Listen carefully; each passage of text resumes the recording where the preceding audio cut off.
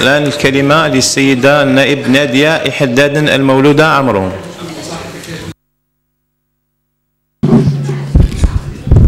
شكرا سيدي الرئيس. بسم الله الرحمن الرحيم. سيدي الرئيس السادة الوزراء الإعلام السيدات والسادة النواب السلام عليكم الزول فلاون لقد عانى الاقتصاد الوطني وما زال يعاني منذ السبعينيات من عدة اختلالات والذي جعل صادراته أقل تنافسية, تنافسية في السوق العالمية. مع تفاقم الضغط السياسي الذي عمل لعزل البلد أمام التنافس الخارجي لذلك لا تزال الجزائر حتى يومنا هذا خارج منظمة التجارة الدولية. فاقتصاد يعكس الطبيعة المتخشبة للنظام. فالصلابة السياسية التي لوحظت خلال أحداث بما سمي بالربيع العربي جاءت على حساب إنفاق حكومي موسع. مولته العوائد النفطية المتقلصة. لكن انخفاض أسعار النفط أدى إلى وضع مالي سريع ما أصبح وضعا كارثيا. فاقتصادنا سيدي الوزير غرق في بحر من فساد في توحش الإدارة. هذا ما يعيق أي تنمية فعلية هناك. هناك تبعية اقتصادية تامة في الغذاء في الدواء في الخدمات في السلع. كله يستورد بأموال سوناتراك كل القطاعات الزراعة السياحة الصناعة تعاني ولا تخلق أي ثروة أو تشغيل منتج. فالسياسات الاقتصادية المطبق المطبقة هي سياسات خبط عشواء. غامضة ترقيعية بدون رؤى واضحة. كل أدواتها بيد السلطة التنفيذية. فلا تشريع برلماني قوي يشرع للتجارة الخارجية ولا عدالة قوية تحميها من الانحرافات حتى لا تكون عرضة لنزوات ولمصالح المافيا واللوبيات. إن مشروع قانون المالية لهذه السنة هو قانون خارج القوانين وهذا ما حمله من قرارات كإعدام للحس الاجتماعي. فالمواطن المغلوب على أمره هو من يدفع ثمن هذه المؤشرات السوداء كضرائب ورسوم على البنزين الماء الكهرباء وحتى قسيمة السيارات.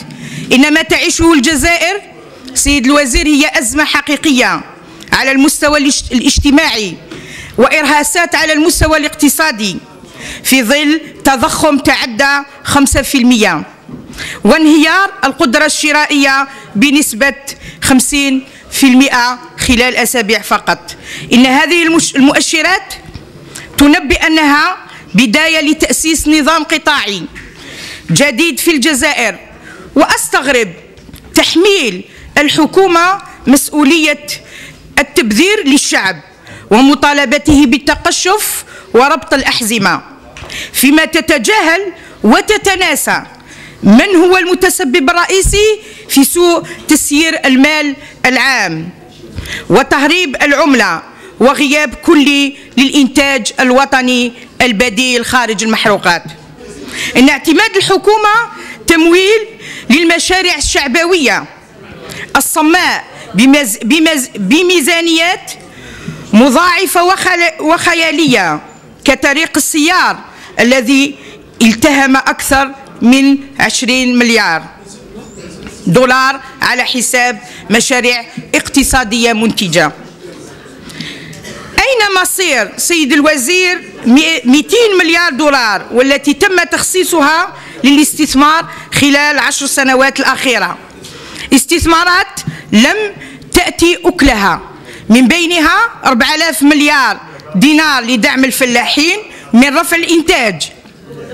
إلا أنها حولت لغير وجهتها الحقيقية مع تضخيم فواتير الاستيراد بما يزيد عن 30% من سعرها الحقيقي.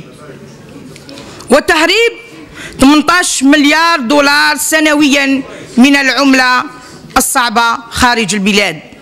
برغم أيضا إنفاق 800 مليار دينار لم يصل معدل النمو 4% وهذا ما يؤكد الفشل والعجز في الميزانية. إن عدة مواد حملها هذا القانون الشؤم على رأسها المادة 66 الذي تعبر عن تغيير في العقيدة الاقتصادية. والمادة 53 والتي مهدت للتنازل على العقارين الفلاحي والصناعي بدل حق الانتفاع المعمول به.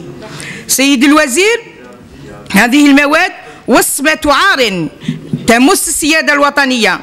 إن المستفيد الوحيد والأوحد من التسهيلات هم المستوردون الجزائريون أصحاب الحاويات القادمة من الصين والذي كشف أنهم يستطيعون تأسيس شركة في ظرف 15 دقيقة وجني أرباح بعشرات المليارات وهذا من خلال التحايل وتضخيم الفواتر.